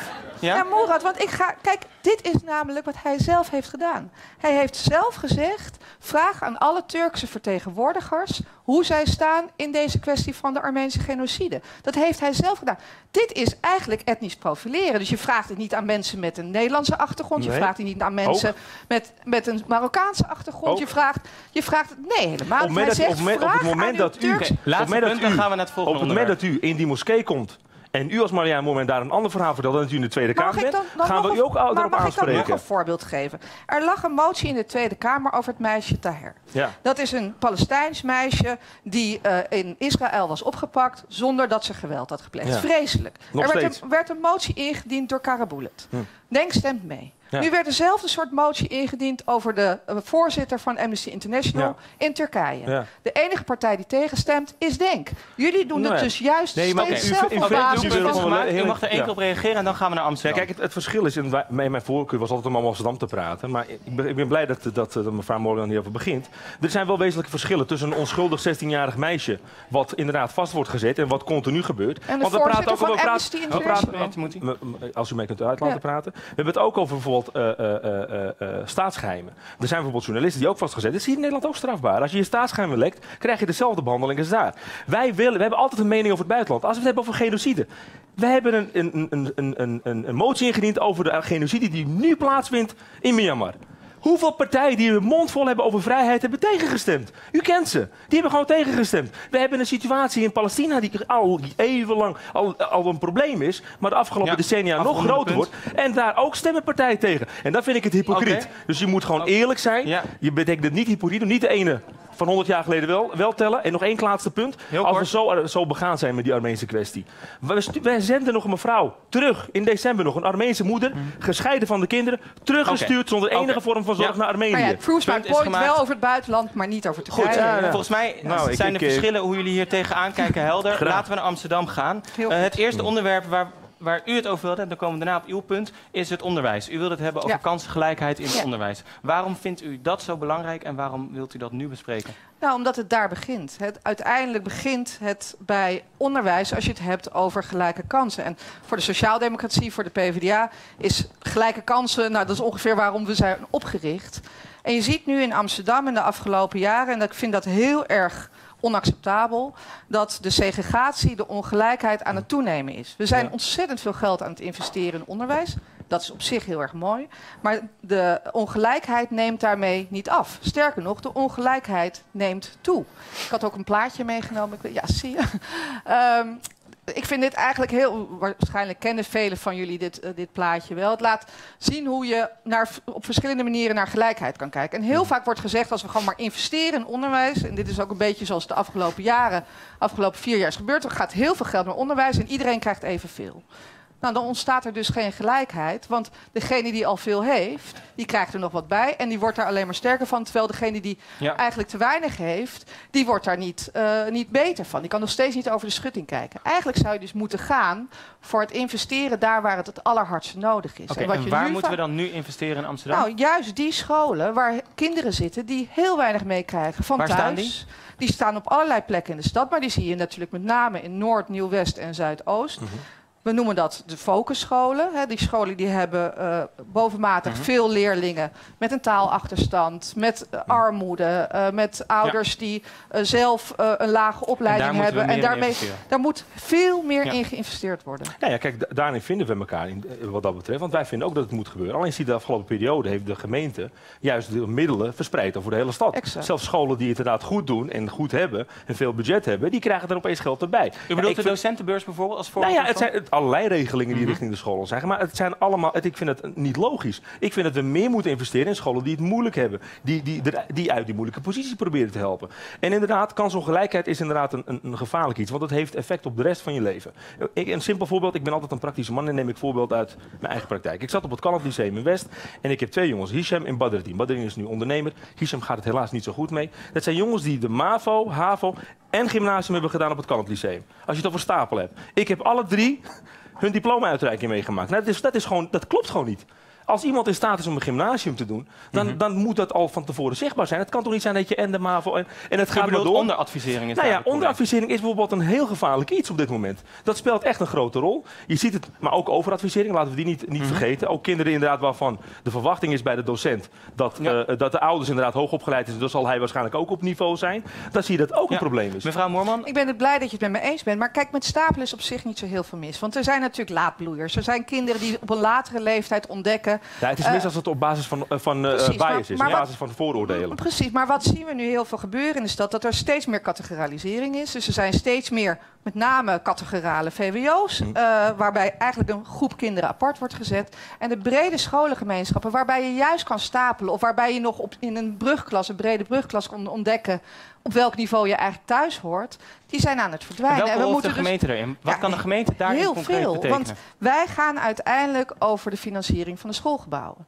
Dus wij kunnen heel goed sturen in wat voor type scholen willen we nou eigenlijk in Amsterdam. En natuurlijk heb je voor een specifieke groep leerlingen heb je categoraal gymnasium Mhm. nodig. Hè. Die, die hebben eh, zo'n Mhm. hoge intelligentie, die hebben we ook gewoon nodig in de samenleving. Dat is hartstikke goed. Maar waarom hebben we op dit moment inmiddels al zeven categorale VWO's? Mhm. Hè, dat is echt een manier om een bepaalde groep leerlingen apart te zetten. Die krijgen ook hè, kleine schoolgemeenschappen, heel erg veel aandacht. En de rest die zoekt het eigenlijk Ja. maar uit. Maar ik dat is een ik richting die we echt niet in moeten Ik ben het helemaal niet eens, Marjolein. Eh, eh, als ik een vraag mag stellen. We hebben het hier over onderwijs in de breedste zin van het woord, Mhm. neem ik aan. Dus niet alleen over het basisonderwijs. Mhm. We praten ook over het, eh, eh, het, eh, het HBO, het MBO. En de voorschool. Ja, want nou, de voorschool begint is al dat, op dat, twee dat, jaar dat vind ik al, dat vind ik al een, een verschrikking. Dat we daar nu op gaan bezuinigen door, meer, door middel van te zeggen... Je, krijgt je krijgt 15 uur, maar je betaalt ervoor. hè. Dan krijg ik dus niks. Ik ben heel simpel daarin. Als je mij iets geeft en ik moet ervoor betalen... Ja, dan koop ik het Ja. in principe. U wilde een vraag stellen. Ja, nou, je ziet gewoon, dan, dan vraag ik me af inderdaad, kijk, in de, de, de, de, kijk nou, dan moeten we toch weer naar de landelijke Mhm. politiek, maar die hebben we toch nodig.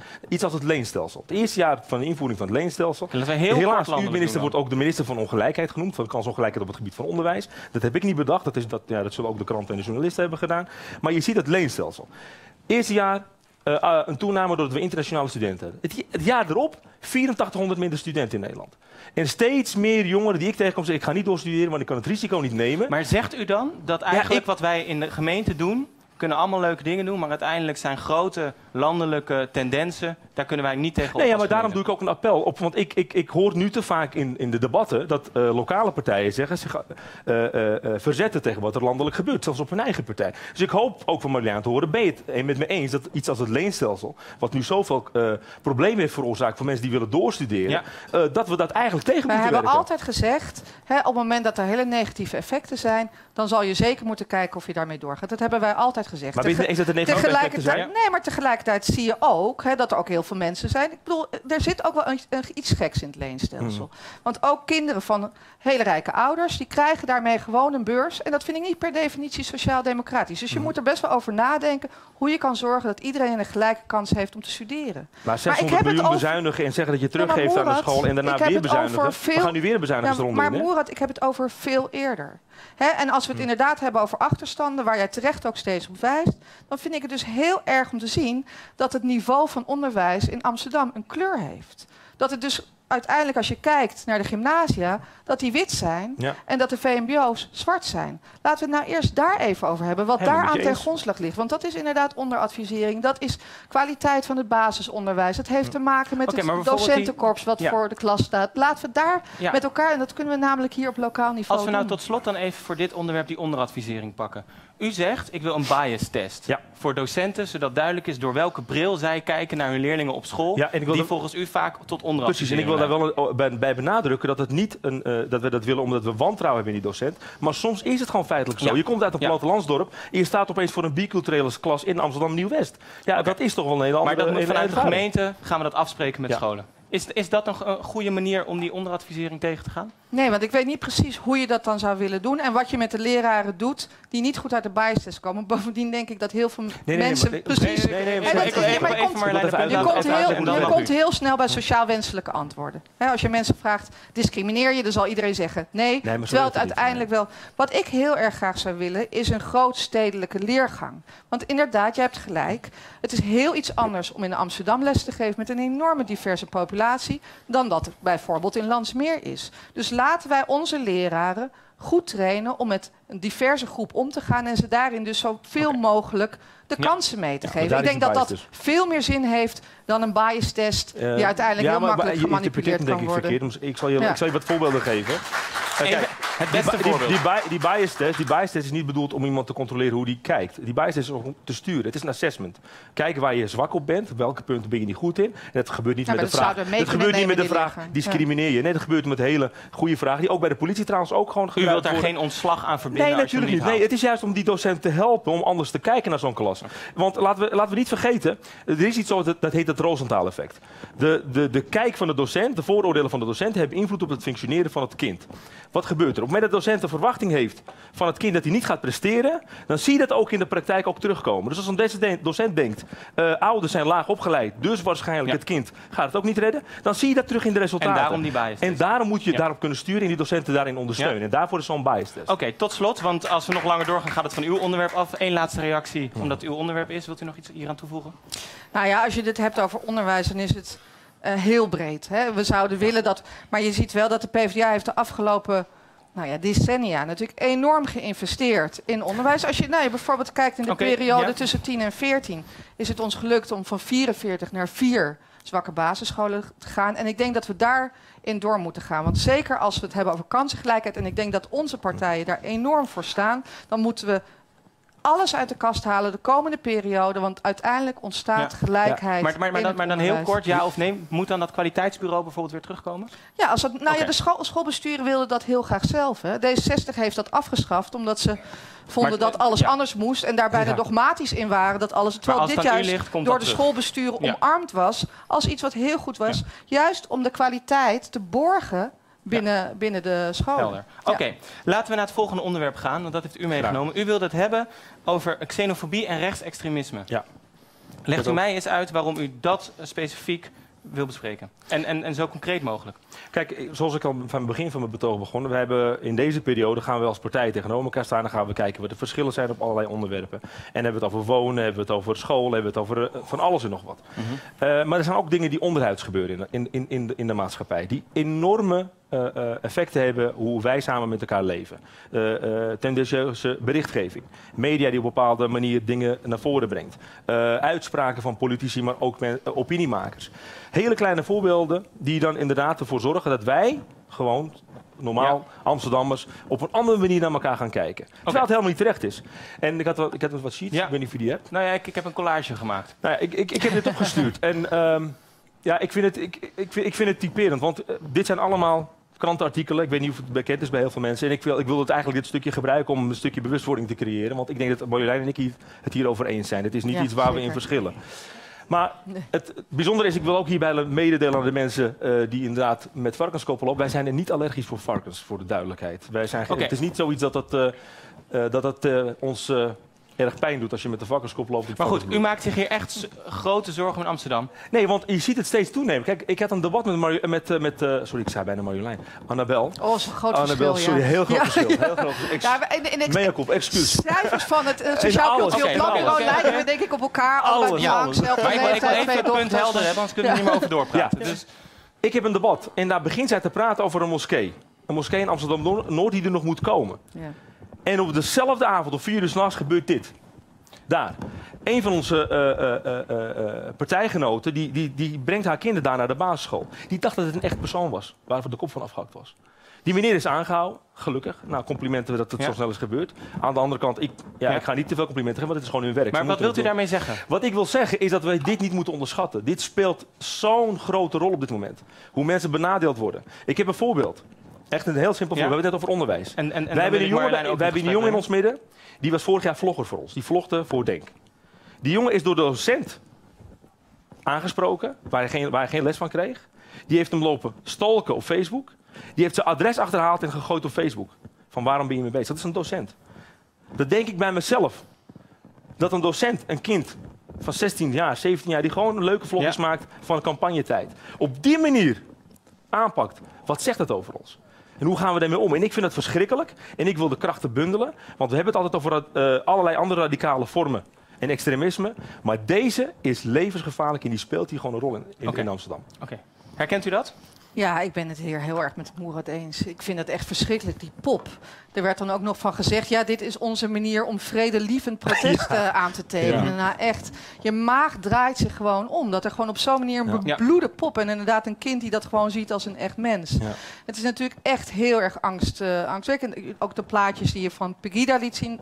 Overigens nog een tegendemonstratie Ja. ook eh, toen gehouden. Hè? En ik denk dat we met z'n allen inderdaad krachten moeten bundelen om dit soort extreme, eh, radicale tegen te gaan. Geldt trouwens ook voor El Carmel. Wat hè, deze week werd de, de, de Het Joodse restaurant, dat weer is... Joodse ja. restaurant waar inderdaad de ramen voor de derde keer op rij eh, zijn ingeslagen. En je, je ziet al dat soort dingen eh, toenemen. En dan ben ik het ook inderdaad heel erg met je eens. Woorden doen ertoe. Maar, maar, dus maar ik vind ja. dat wij als politici Absoluut. heel erg moeten oppassen wat voor woorden we gebruiken.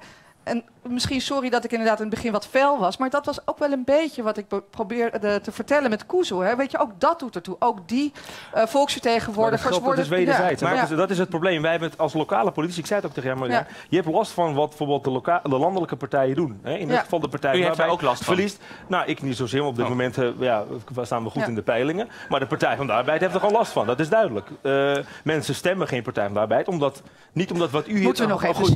zien. Nou ja, Ja. volgens de peiling, Ja. Ik noem het erbij. Ik, ik gun u het allerbeste, dat weet u. Dank u wel. Maar het gaat om, als je het hebt over Amsterdam, dan zie je inderdaad mensen heel veel vanuit de landelijke politiek projecteren hierop. En sterker nog, wat ik helemaal eng vind, uitspraken van Jarnas. Ja, laten we die inderdaad... eh, Heeft ze geen zetel gekost in de peilingen? Dan denk ik serieus. Hoe heeft- zit dat in elkaar? Ja. Het heeft ze geen zetel gekost. Dan denk ik, er zijn mensen die dus blijkbaar niet eens meer geïnteresseerd zijn. En daarom denk ik dat wij, Maar, maar, maar, andere partijen, ja. sorry dat ik mijn Ja, zin even afmaken, wij onze manier van praten moeten veranderen. Maar de burgers zitten niet meer op te wachten. precies, maar laten we ons dan ook niet laten kapen daardoor, want dat zie je wel heel erg. Ik vind het inderdaad terecht dat je erbij betrekt. De uitspraken van Jernas over IQ. Mhm. Eh, nou ja, gisteren natuurlijk Ja. bekend ook dat hij dat ook over homo's zei. Eerder zei hij dat al over vluchtelingen. Ja. Zei hij het al over zwarte mensen. Hij heeft zich teruggetrokken, hè? Hij heeft zich nu teruggetrokken. hij blijft Dat is ook officieel nog Nou ja, wel... hij, hij is, hij is niet van de lijst af. Hij heeft gezegd. Ja, maar je stemt wel op hem. En als maar- Maar het kost de. Forum verschrikkelijk veel moite om daar afstand van te nemen. En wat ik erg vind, is dat het het zo kaapt. Ja. En want het, waar moet het nou over gaan? Het moet gaan inderdaad over gelijke kansen. Het moet gaan over dat iedereen Nou, een betaalbare dat was woning eigenlijk kan mijn vinden. vraag, je, want we hebben het nu heel erg... En, en dan is mijn vraag, waar ligt voor jullie dan het zwaartepunt? Zeggen jullie hoe wij nu in de politiek met elkaar praten... gaat zo'n verkeerde kant op dat dit soort dingen gebeuren? Of zeggen jullie, daar gaat het niet om. We moeten juist als gemeente, hebben we hier gewoon middelen voor... om dit aan te pakken, dat het niet meer Je gebeurt. moet Want ik alles hoor nu uit de kast halen om dit altijd aan te en pakken. Je En mag- wat kan je dan doen? Je, nou, dat doen, we doen dat natuurlijk al. Kijk, gelukkig is Mhm. inderdaad de man die dit heeft gedaan, is van de week opgepakt. Bleek ook dezelfde figuur te zijn die eerder Sylvana al heeft bedreigd. Die al eerder de bij ons op de eh, tribune, publieke tribune is gaan zitten als Zwarte Piet om Ja. uit te Ja. dagen. Dus hij is de hele tijd bezig om dat eh, vuurtje op te stoken. Ik ben blij dat hij is opgepakt. En ik hoop ook dat hij inderdaad de straf krijgt die daarbij Ja. hoort. Want we kunnen niet in onze tolerante samenleving, in onze rechtsstaat, dit soort uitingen eh, tolereren. Dat Ja. hoort er absoluut bij. En dat moeten we gezamenlijk altijd Ja. doen. Maar er is dus, en dat benoemt Moerad goed. Er is nog een laag. En die laag is hoe praten wij er zelf over? Hoe voorkomen wij, ook Mhm. als volksvertegenwoordigers, dat mensen tegenover elkaar opgezet worden? Dat we inderdaad polariseren en uit elkaar vallen en niet meer een gezamenlijke samenleving met elkaar Ja. bouwen. Tot slot, daar heeft u een, een- de- dat punt heeft u volgens mij heel helder gemaakt. Ehm, ziet u ook echt een, een, een rol voor de gemeente, los van wat we net geanalyseerd hebben? Ziet u manieren om dit effectief tegen te gaan in de stad? Zeker. Wij hebben, ehm, Moeten bijvoorbeeld instellingen meer beveiligd worden? Eh, ik vind van wel. Ik vind dat je het in samenspraak moet, moet, moet doen met de instelling. Niet in, elke instelling Joodse, kan betalen. Het maakt me eigenlijk niet eens wat het is. Maar als het inderdaad bedreigd wordt, dan moet je daar als gemeente moet je daar iets voor doen. Maar wat ik belangrijk eh, eh, vind om te benoemen. Ik denk dat dit ook... eh, je moet als politiek er niet alleen over praten, maar je moet ook met concrete maatregelen komen. Hoe ga je discriminatie tegen? Nou, we hebben een ketenaanpak, die heb ik aangeboden. de, de belangrijkste concrete maatregel die u... Nou ja, bijvoorbeeld als je gaat kijken, dat we, eh, de- om de vier jaar praten we over discriminatie. Dat het belangrijk is en staat hoog op de agenda. Maar feitelijk, hoe pakken we nou mensen aan die discrimineren? Je ziet zelfs uit onderzoeken van de gemeente Amsterdam, meer dan de helft van de Amsterdammers geeft aan te maken met discriminatie. En als je vraagt, meld je het dan? Dan zeggen ze nee, want er gebeurt toch niks mee. Maar sorry, ik ik, ga, ik, ik, ga het toch iets korter houden. Wat stelt u concreet voor dan? Nou, we hebben een ketenaanpak. Een ketenaanpak die inderdaad op vijf, eh, eh, in vijf stappen eigenlijk die discriminatie zou moeten aanpakken. Het eerste begint bij bewustwording. Dat betekent in het Ja. onderwijs, maar tegelijkertijd ook mensen daarin trainen. Ja. Hè? Het tweede is dan, eh, dan heb je het over inderdaad de meldingsbereidheid vergroten. We hebben nu in Amsterdam agenten die, als je binnenkomt Ja. om te melden, die zegt... Ik kan het niet bewijzen, terwijl dat, dan zit hij eigenlijk feitelijk op de stoel van de officier van justitie. Hij moet het verplicht opnemen, die aangifte. Dus wettelijke verplichting. Drie. Drie, dan gaan we naar controle erop.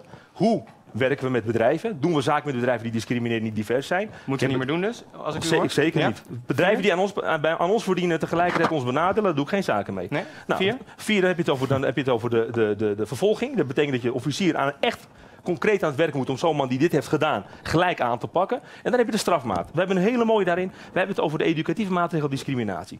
Als je te hard rijdt en je doet het te vaak, krijg een educatieve maatregel voor verkeer. Dat Oké. betekent dat je moet gaan leren om weer het verkeer, het verkeer in te gaan. Nou, ik vind het helemaal niet raar om dat ook eh, op het gebied van discriminatie te doen. Contact taakstraf, tegenover iemand zetten die je benadeelt. Ga maar tegen die over de 16-jarige Maar- maar jongen zitten Moerad- die door jou geen baan heeft. Dan ga je het leren. Op de andere manieren werkt het niet. Alleen erover praten, Ja. concrete maatregelen heb je nodig. maar met alle respect, hè, maar wat is hier nou anders aan? Dit is toch gewoon eh, justitie, opsporing en berechting? Bedoel, dit is toch gewoon rechtsstaat? Het Nee. rijtje wat jij nu noemt, van bewustwording naar strafmaat... Ja.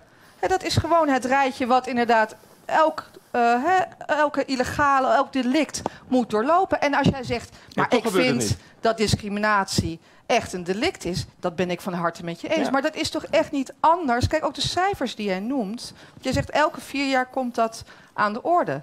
Dat is In het- echt niet In het echt. verkiezingsprogramma heb ik het over. hè? Ja, maar ook tussendoor. Hè, dus de cijfers Ik die hoor jij. elke vier jaar Oh, zeggen... ik geweld tegen homo's neemt toe. Ja, mevrouw Dus blijkbaar doen we iets niet punt goed. af? Dat is inderdaad verschrikkelijk. Maar het is niet dat er daartussendoor... Hey, ik hoor jou vaak de cijfers van eh, arbeidsdiscriminatie MDRA noemen. Ja.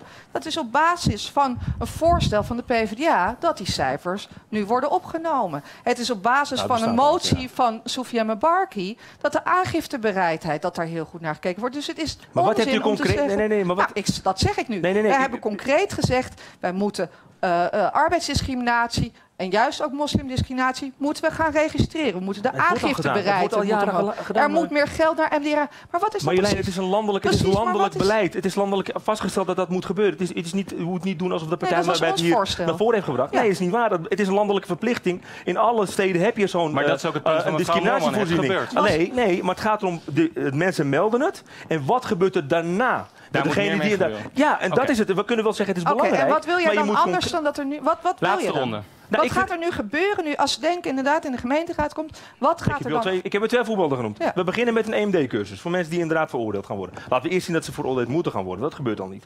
Zorgen dat we bewustwording creëren bij de politieagent dat hij niet op de stoel van de officier van justitie gaat zitten. Nee, even een punt. Je vraagt me, je vraagt Ja. me wat ik wil doen.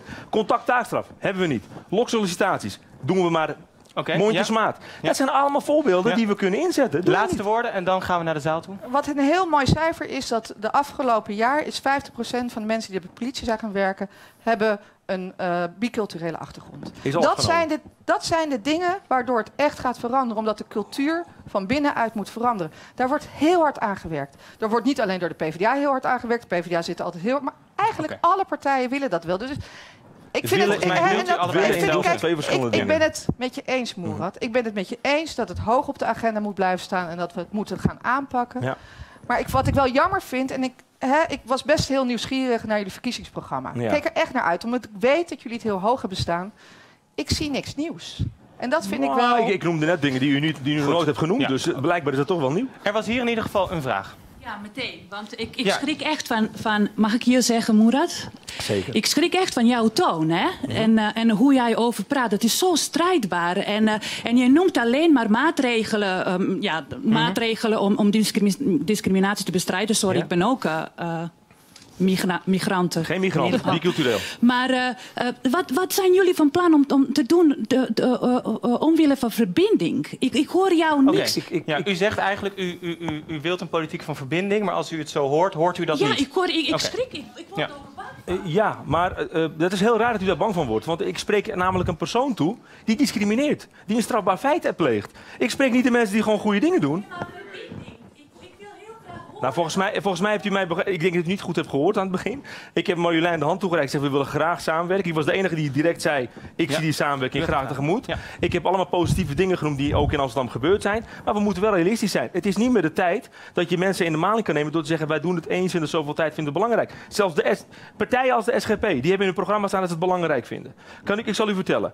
Het, eh, eh, het nationaal eh, juristencomité voor de mensenrechten. Die hebben onderzoek gedaan naar partijprogramma's. Weet u dat, dat wij in GroenLinks best uit de score kwamen als meest mensenrechtenvriendelijk partijprogramma ten opzichte van de partijen? Dat zijn partijen die de mensenrechten eh, eh, overtreden. Oké, daar niks aan. Onze jongeren, en dan kan, kan ik jou echt heel veel laatste punt. Ja. Onze jongeren hebben daar niks aan. Zij willen gewoon erkenning, zij willen de kansen hebben. En Ja. dat, dat kunnen ze alleen maar krijgen door verbinding. Dat zij ook verbinding krijgen Absoluut. met de rest van En ik zal u Nederland niet alleen met Nieuwe West. Ja. Dus Nee, Heel heel kort, is zal ook ik even kort op reageren. Ook een onderzoek onderzoek. Wij trekken de jongste stek- eh, stemmers naar de, naar de stembus. Ook, ook onderzoek. Wij willen juist verbinding. Wij praten nu voor een groep die lang niet gehoord is. Een groep van jongeren die het gevoel hebben de afgelopen 10, 15 jaar dat er over hen werd gesproken in plaats van met hen. Heel veel mensen gaan naar de stembus die nog nooit gestemd hebben. Wees, wees daar dankbaar voor. Het is een emancipatorische beweging. Oké, er was hier een vraag, meneer. Moerad, we hebben, we hebben heel prettig hebben, we- hebben we samen eh, op de markt eh Gestaan. doorgebracht. Eh, voor mij is het altijd moeilijk. Waar ligt voor jou de grens tussen vrijheid van meningsuiting en discriminatie? Die ligt, die ligt op het moment dat jij mij benadeelt in mijn verdere carrière, vind ik persoonlijk, want ik ben ondernemer. Op het moment dat jij iets doet waardoor ik niet normaal verder kan in mijn leven, dus jouw grens eindigt waar mijn grens is. Dat, is, dat vind ik het normale. Eh, op het moment dat ik naar, naar ga solliciteren en ik Ja. word omwille van, mijn, om, eh, eh, omwille van mijn huidskleur of voor mijn achtergrond, wat nu de hoogste cijfers zijn in, in het onderzoek, dan, dan vind ik dat je daar niet zo makkelijk vanaf komt. Die uitzendbureaus die zeggen, is goed, ik neem die Marokkaanse jongen niet aan. Ja, Ik, ik stuur jou wel een witte jongen. Weet je wat voor consequenties het heeft? Vier keer zo vaak werkeloosheid bij Marokkaanse jongeren. Terwijl ze zelfs afgestudeerd zijn. Ik heb zelfs een journalist gehad, die stelde mij de vraag... en daar stond ik echt van te kijken, die zegt...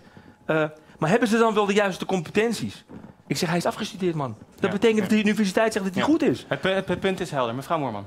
Ja, ik herken je ineens, ome Tom van de Dappermarkt. Ja. Ja. Dappermarkt, ja. Ik dacht al, waar kennen we? Ik sta vaak bij, met mijn dochters bij je poffertjes te halen. Ja. Eh, waar het eindigt is gewoon de vrijheid van de een mag nooit de vrijheid van de ander Precies. beperken. Dat is eigenlijk waar gewoon altijd de grens ligt. Dus ja, ik, aan Amsterdam is denk ik de meest vrijheidslievende stad die er is. Maar dat doen we altijd in gezamenlijkheid. Ja. En, daarmee, en juist nu, en ik ben ook wel echt benieuwd hoe de gemeenteraad er straks uit Ja. gaan zien. Ik, ik, ik, ik, Precies, nu van- zie ja. je dat iedereen elkaars vrijheid. Precies, daar Ja. ben ik heel erg met Ehm, je eens. Ja. we- we gaan moeten allemaal oh, poffertjes bij je Sorry, eten. ik, wil werkt goed. Ja. We gaan, we gaan nog twee vragen doen en dan kunnen we aan de bar kunnen Ja. we, eh, verder. Ehm, ja, Ik wilde even wat vragen. Ik, ik begrijp heel goed wat mevrouw daar zei over verbinding. Ehm, ik heb zelf een 17-jarige die etnisch geprofileerd wordt. Wat ik op zich niet zo erg vind, omdat het een hele stoute jongen is. Dus ik ben blij dat oma Gent Nou. met, met hem meekijkt.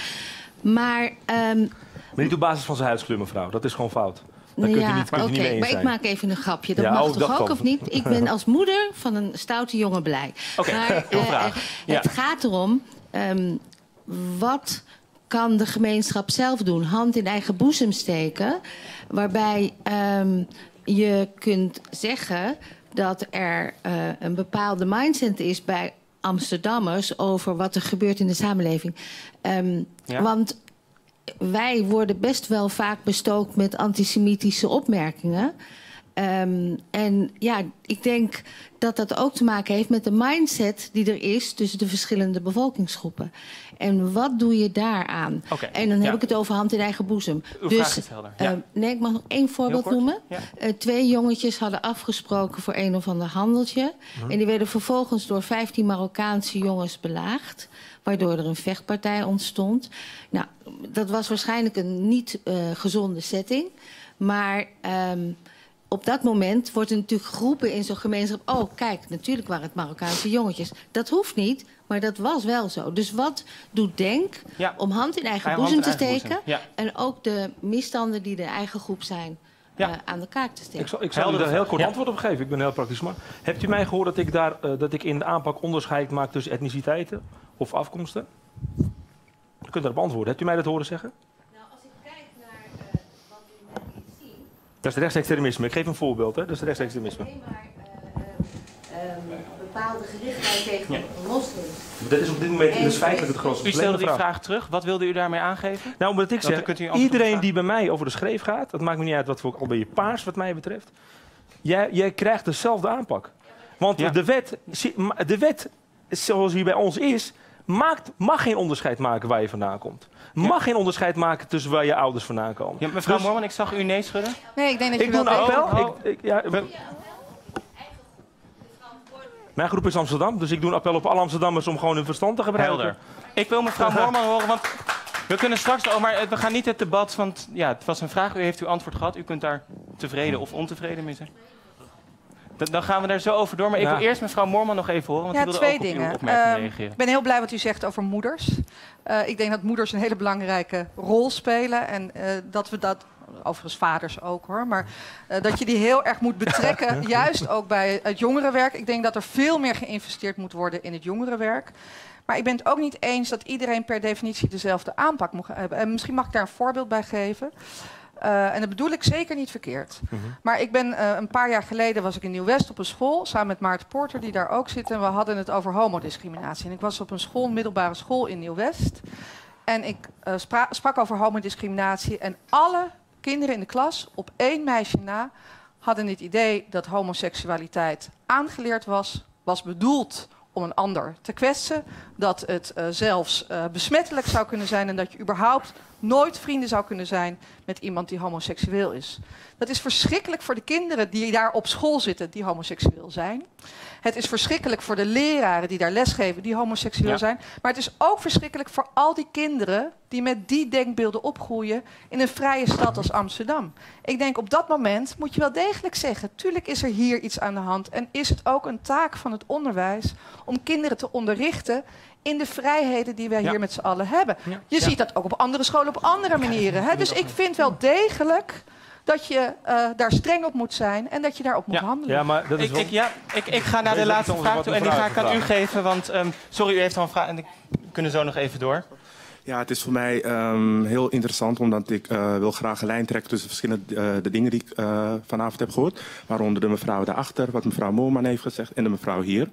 Wat ik zelf persoonlijk heel jammer en betreurenswaardig vind, eh, is dat als het om onrecht gaat, in mijn optiek, en dat zeg ik persoonlijk als eh, Nederlands staatsburger eh, met een tintje, dat er niet altijd dezelfde lijn eh, en, aan wordt gegeven qua belang, hoe, hoe belangrijk het wordt Ja. opgenomen en wordt gezien ja, binnen de stad Amsterdam. En mevrouw Moorman gaf eh, een voorbeeld van eh, dat 50% of in ieder geval een groot aantal van het politieapparaat eh, tegenwoordig bicultureel is, eh, divers is. Ja. ja, Nee, niet dat- het hele apparaat wat er vorig een jaar bepaald, bij een is bepaald, gekomen. Een bepaald, Ja. zei Ja. ik, Ja. als u Ja. goed naar mij Ja. had geluisterd. Maar we zien dat helaas niet terug in, in het hogere segment. En ik bedoel, daar, daar, daar moeten wij ook zien Ja. door te dringen. En als we dan hebben over het punt wat mevrouw hier aangaf, kan ik ook met eh, tal van voorbeelden komen van eh, hoe er Ja. wordt omgegaan met onrecht richting de, Ja. eh, gekleurde Nederlanders en dergelijke. Dus He- he- ik- heeft ja. u een vraag of is dit meer een opmerking die Ik- u even nou, wilt plaatsen? Inderdaad, ik ben ik, eh, inderdaad dus meer een aanvulling op Ja. de verschillende mensen. En nou goed, eh, ter afsluiting, hetgeen wat mevrouw daarachter zegt. Ik begrijp dat het heel pijnlijk is, want eh, wanneer je tegen de status quo aanschopt, dan zal niet iedereen er, even blij mee zijn. Maar afsluitend wil ik echt zeggen van het feit dat mensen bepaalde zaken niet ervaren, voor, een bepaalde vorm van onrecht niet ervaren, persoonlijk niet ervaren, wil niet zeggen dat hetgeen niet bestaat. Dat is alleen, Ik, ik wil... Nee, nee. Ja, Ja, zal ik... dat heb ik ook gehoord. Maar mag ik erop wil u, ja, u mag erop reageren, Ja. maar ik wil eigenlijk, want dan kunnen we het ook mooi afsluiten. Als u allebei in uw antwoord meteen, nou ja, eigenlijk een soort slotpleidooi meeneemt wat u hiervan, hè, want het is duidelijk dat dit een onderwerp is wat leeft. Wat vindt u nou hoe we hierover door moeten gaan? Want, het, want het, ja, de tijd is een beetje op. Maar hoe, hoe kunnen we dit gesprek nou op een constructieve, verbindende manier, zoals de mevrouw Graag. achterin zei, voortzetten? Ik wil daar dan uw aanbeveling op en dan kunt u eerst Ja. nog even reageren. Ik wil zeggen dat ik het met u eens ben. Want we zien gewoon aan de cijfers dat nou, afgelopen jaar, 2017, waren er 395 meldingen van mensen die gediscrimineerd werden op basis van een afkomst of op basis van een huidskleur. Dat is verschrikkelijk. Je verandert het alleen door inderdaad ook de instituties te veranderen. Dus de politie. Dus daarom ben ik blij dat wat van vorig jaar is aangenomen, dat de helft van mensen een biculturele achtergrond heeft. Want dat is nodig om ook een andere blik te hebben. Daarmee zijn we er nog niet, want u heeft gelijk. En ook de hogere egelon zal het moeten doordringen. Geldt overigens ook voor vrouwen. Hè, dus eh, 8 maart is het Ja. Internationale Vrouwendag. Als je kijkt naar hoe vrouwen eh, in de organisatie Ja. zijn doorgedrongen, dan is. Ik ben de eerste vrouwelijke lijsttrekker van de PvdA in 72 jaar tijd. Hè. Dat was ook wel eens een keertje tijd dat Ja. dat eh, ging Ja. gebeuren. Ja. Dat is eigenlijk een hele mooie warme aanbeveling voor Ja. andere partijen. Ja. Nee, Ja. maar dus het gebeurt. eh, Ja. Het gaat. Ik, de frustratie in, dat is ook mijn frustratie. Het gaat te langzaam. En helaas is er niet één gouden eh, Nee. bullet die we af kunnen schieten en dan is het allemaal opgelost. Het is best een traag proces. En we kunnen alleen maar verder komen als we dat gezamenlijk doen. De krachten bundelen, elkaar niet de hele tijd de maat nemen en het voortdurend blijven benoemen. En ook de PvdA, ik bedoel, daar zijn we ongeveer voor opgericht. Heeft altijd gestreden voor die emancipatie, voor die mensenrechten. Juist voor altijd de mensen die onderdrukt werden. En laten we dat blijven doen en elkaar inderdaad in verbinding. En elkaar daar niet alleen Ja. maar de maat in nemen. Ja. Oké, nou. Dat lijkt me een eh, mooie aanbeveling. Uw laatste woorden, voortbordurend op die verbinding. En Nou ja, dan, eh, ik begon mijn, mijn Ja. betoog met verbinden. Want eh, ik begrijp ook echt niet dat het zo over is gekomen. Maar alleen weten de mensen die mij goed kennen... weten dat ik in Amsterdam bekend sta als iemand die daar de verbinding zoekt. Want ik weet dat ik het in mijn eentje niet kan. Blijf het doen. Ja, nee, het zeker weten. Maar ik denk dat het is gewoon feitelijk zo dat je meerdere mensen nodig hebt om iets te kunnen bereiken. En vooral op dit onderwerp hebben we iedereen nodig. Want dit raakt ons Ja. allemaal. En als we het hebben over dit onderwerp, als we het hebben over etnisch profileren, als we het hebben over discriminatie. Ja, het is gewoon een groot kwaad wat, wat gewoon een, een grote rol speelt in onze maatschappij. Eh, het, het zit op alle terreinen, op de werkvloer. Op, eh, we hebben het een keer gehad over de arbeidsmarkt. Een mooi voorbeeld, daar moeten we volgend jaar denk ik samen. eh, of dit Volgens jaar, mij kunnen jullie hier best een Nee, nee, maar ik noem een voorbeeld. Bovenaan het lijstje van meest discrimineerde organisaties, als je de, het GVB erbij optelt, staat de gemeente Amsterdam. Dat is toch Nou, raar dat wij als... overheidsinstellingen, ja. Ja, lokale overheid is Amsterdam. Ja, Dus eh, ja. in Amsterdam staat de gemeente bovenaan het lijstje. Nou, laten we zeggen, laten we daarmee beginnen. Hoe zit het met ons als werkgever? Hoe zit het met ons als eh, Ja. gemeente? Dus ik denk dat we daar eh, eh, goede stappen in moeten maken. Ik ben blij Ja. dat heel veel politieke partijen dat Laatste inderdaad nu heel goed in hun programma hebben verwerkt. Maar nou nog even de concrete aanpak. Goed. Dank jullie wel, allebei. Um, um, Ja, dan. Moerat Taimunti, Marjolein Moorman. Geef ze een warm applaus. Ehm,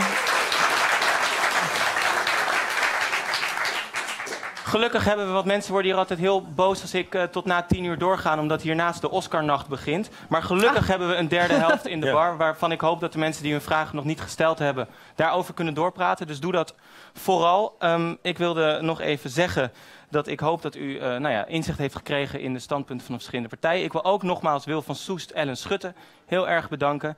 Ehm, de komende tijd gaan we door met programma's. We hebben bijvoorbeeld, u mag over nog iets stemmen, de sleepwet. Sleepwet, hè. volgens de een is dat de juiste term, volgens de andere niet. Daarover gaan we volgende week in debat. En ja, officieel is het de WIF inderdaad, ja.